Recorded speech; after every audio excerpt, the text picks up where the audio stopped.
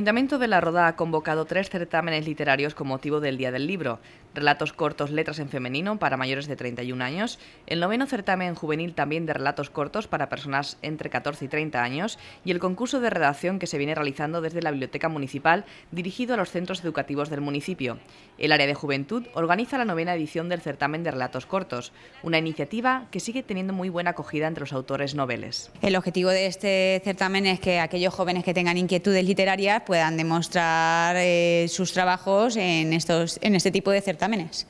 Este es el quinto año consecutivo en que el Centro Educativo de Asprona La Roda está llevando a cabo el módulo de auxiliar de oficina dentro del programa de transición a la vida adulta, unas enseñanzas que tienen como objetivo aproximar al alumnado entre 16 y 21 años a los entornos de trabajo reales. Lo que hacemos es hacer una formación general, formación laboral el Instituto de Enseñanza Secundaria Maestro Juan Rubio, con la colaboración de la Concejalía de Deportes, ha organizado para el próximo martes una carrera solidaria en colaboración con Save the Children, un colectivo que trabaja por los derechos de la infancia. Una iniciativa que se celebra en este centro educativo por segundo año consecutivo. Un año más, eh, esta es la segunda edición que hacemos de la carrera Save the Children, en la que participan todos, toda la comunidad educativa del centro, la huelga en el sector público, convocada por los sindicatos para el pasado miércoles 29 de febrero, arroja unas cifras en nuestro municipio en torno al 25% de seguimiento por parte de los docentes que imparten enseñanzas en los dos institutos de secundaria de la Roda. En el maestro Juan Rubio el porcentaje fue del 23% y algo superior en el doctor Alcón Santón, un 29%. Eh, a la vida del, centro, pues afectado, como es normal. Eh, te digo los datos, faltaron de 68 profesores que somos en en plantilla este año, pues faltaron 17. Dentro del programa municipal de deporte escolar, el plan Todo tiene un valor llegará la próxima semana a los centros educativos de la localidad para realizar talleres de reciclaje, una actividad que parte de la Concejalía de Deportes del Ayuntamiento de La Roda y que tiene como objetivo inculcar valores sociales a través de la práctica deportiva. Todo tiene un valor, es uno de los planes que desde la Concejalía de Deportes se viene trabajando desde el programa municipal de deporte escolar la exposición Zenobia Camprubí con luz propia será clausurada esta tarde tras la visita guiada prevista en el programa de actividades que conmemoran el Día Internacional de la Mujer. Durante esta mañana, el alumnado de los institutos María Auxiliadora y Maestro Juan Rubio han asistido al Centro Cultural San Sebastián para recorrer las vitrinas y paneles que conforman esta muestra y acercarse a la desconocida figura de Zenobia Camprubí. Allá a la derecha tenemos los documentos, una especie de mini currículum donde ella solicitaba un puesto de trabajo en la universidad la cifra de paro en la Roda aumenta en febrero. Un total de 1.863 personas desempleadas en la Roda, según los datos publicados a través del Servicio de Estadística de Castilla-La Mancha, lo que supone 18 personas más que en enero. Si analizamos la información por sexos, hay 227 mujeres más que hombres en esta situación, 1.036. La caída del sector textil y los empleos precarios vuelven a ser una causa importante. En la confección. la confección. ¿Y es un sector que se ha visto muy repercutido por, por el desempleo? Sí, bastante. El Instituto de Enseñanza Secundaria Maestro Juan Rubio celebraba esta mañana la carrera solidaria promovida por Save the Children en colaboración con la Concejalía de Deportes del Ayuntamiento de La Roda. Una iniciativa benéfica que se inició el pasado curso que tiene gran acogida por parte del alumnado. Sí, la iniciativa, bueno, en principio es de la ONG Save the Children que pide nuestra colaboración. El director del Instituto de Enseñanza Secundaria, doctor Alcón Santón, José María López Pérez, informó de la decisión tomada por el Consejo Escolar de este centro, por la que se van a priorizar los pagos a pequeños empresarios y se gastará la partida destinada a imprevistos. Una determinación a la que ha llegado esta comunidad educativa ante el impago por parte de la Junta de los importes pendientes del curso pasado y del actual. Lo que hemos decidido eh, es una decisión del Consejo Escolar yo creo que además es importante esta decisión que tomó el Consejo Escolar en su última reunión. Es que mm, normalmente, tradicionalmente, como cualquier centro, eh, tienes un presupuesto, tienes un cálculo de dinero, entonces eh, siempre guardas un dinero, ¿no? 5, 6, 7 mil euros.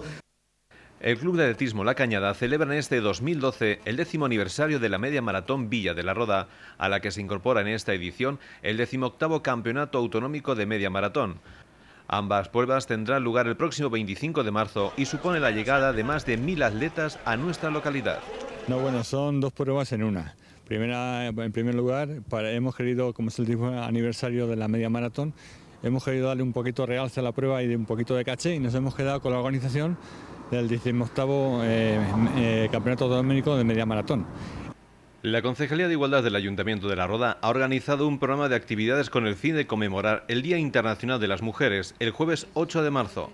Una celebración reivindicativa que busca conseguir la igualdad en derechos y oportunidades entre ambos sexos. Trabajar en educación es una base importante para atajar los problemas discriminatorios. Es fácil seguir reivindicándolo y la causa, que es por la desigualdad existente. El programa de acogimiento familiar Un lugar en tu casa, un sitio en tu corazón de la Consejería de Bienestar Social ha organizado una charla informativa el próximo martes 13 de marzo a las 6 de la tarde en la Casa de la Cultura. Se trata de un proyecto que intenta ofrecer hogares estables a niños y niñas que por diversas causas no pueden convivir con sus familias de origen y están bajo la tutela de la Administración Pública. La verdad es que estos niños o niñas, eh, por las circunstancias mm, cualquiera puede ser, variadas, eh, se han quedado sin, sin un hogar. La concejala de urbanismo del Ayuntamiento de la Roda, Paqui Atencia, ha anunciado que ya han finalizado las obras de la calle Isabela Católica y Matías Montero unos trabajos que han consistido en la sustitución de redes de agua potable y saneamiento, además de la pavimentación completa. Ayer tarde por fin terminamos eh, la, primera parte de esa primera fase del proyecto de mejora de infraestructuras. Hemos terminado de pavimentar por completo Isabela Católica y Matías Montero. El Club de Esgrima La Roda 1310 viajó el pasado sábado a Campo de Criptana, donde se disputó el tercer Racing Castilla-La Mancha 2011-2012 una competición en la que participaron más de 65 tiradores con el fin de conseguir puntos que les permita subir en la clasificación general.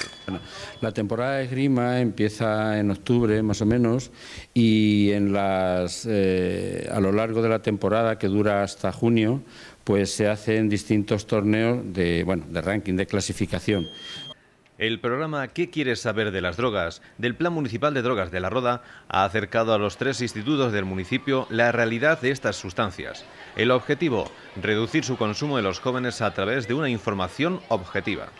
Bueno, pues estas charlas eh, dirigidas a, primero de la ESO eh, llevan el nombre de ¿Qué quieres saber de drogas?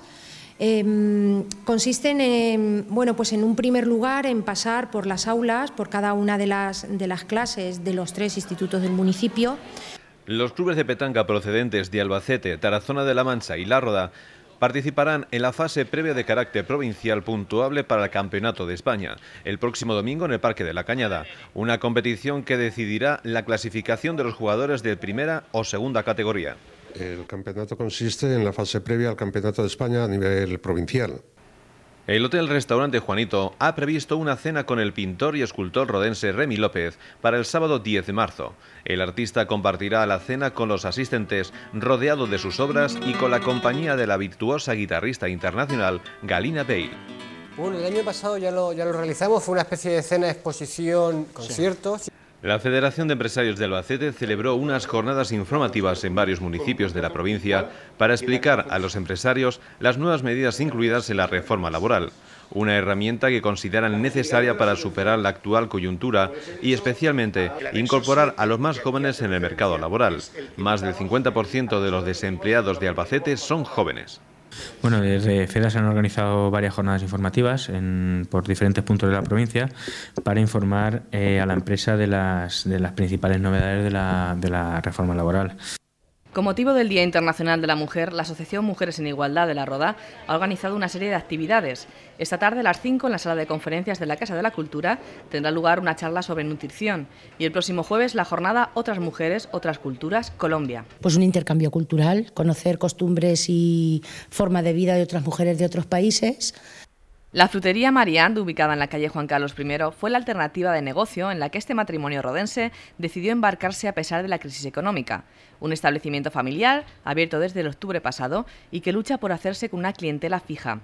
En su tienda podemos encontrar no solo verdura y fruta de temporada, sino también congelados, pan, dulces y otros productos de primera necesidad. Bueno, pues la abrimos un poco por las circunstancias que nos han venido, ¿no? Mi marido cayó un poco enfermo y entonces teníamos que seguir adelante y decidimos abrir un pequeño negocio.